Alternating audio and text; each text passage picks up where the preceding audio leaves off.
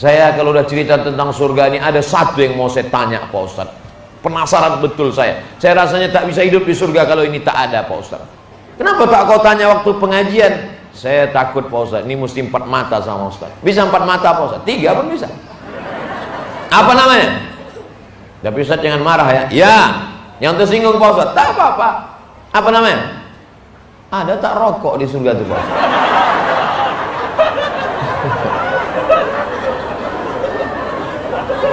Walakum fiha ma tashtahi anfusukum.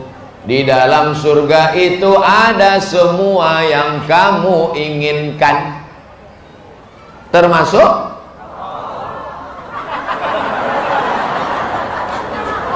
Walakum fiha untuk kamu di dalamnya dalam surga matastahi anfusukum. Semua yang kamu inginkan ada. Termasuk?